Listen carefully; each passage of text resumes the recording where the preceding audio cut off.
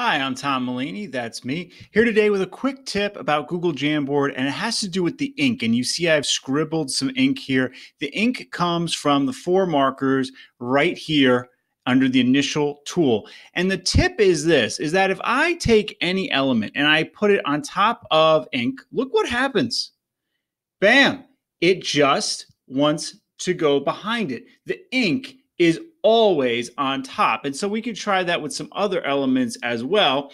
So let's put in an auto draw real quick. I'll just try to draw something.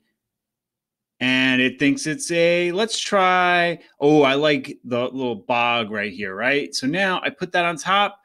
No, the scribble will always be on top. The ink is always on top. I could try that with a post-it note, or excuse me, a sticky note as it's called in Jamboard parlance and then bam, it goes behind. The ink is always on top. Let's just put a new image in there. What the heck, right? So we go in there, we get an image, we click check. There, the images.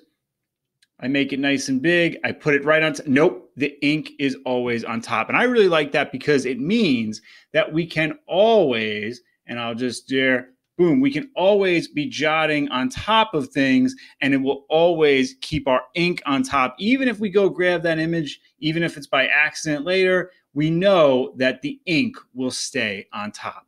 If you have any questions about this, please comment below or tweet me at Tom E. Mullaney. Please like, share, and subscribe. Thank you so much for watching.